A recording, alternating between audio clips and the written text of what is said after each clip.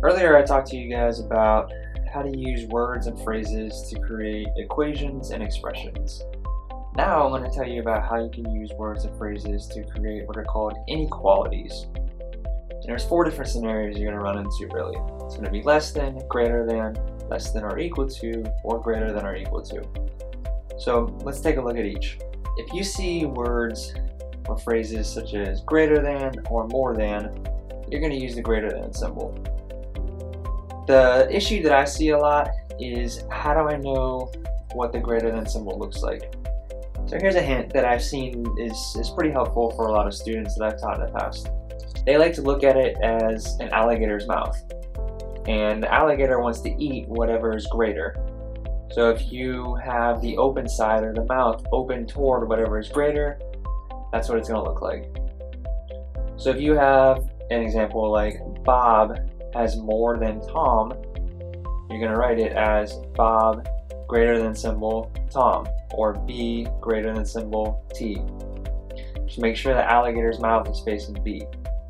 If you see a phrase uh, that says less than, then you're going to use the less than symbol. That's really about all you're going to see with that. So if you see Sue has less than Joe, you can use S for Sue, J for Joe. You're going to write S is less than J. What I like to look at with this is that I look at the symbol as like an arrow, where the arrow will point to whatever is less than. So if you're drawing that symbol, you want to make sure that arrow points at the S. If you see a phrase that says at least, that means you're going to have greater than or equal to that amount. So if you if you see a phrase that says Will has at least five dollars, you can write it as W is greater than or equal to five.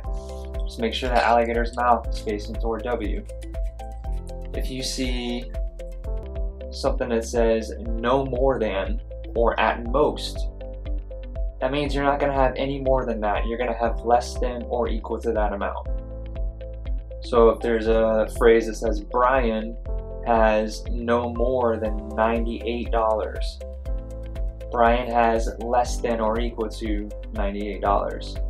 You're going to want to make sure that arrow is facing toward B or whatever letter you choose to represent that. So B less than or equal to 98.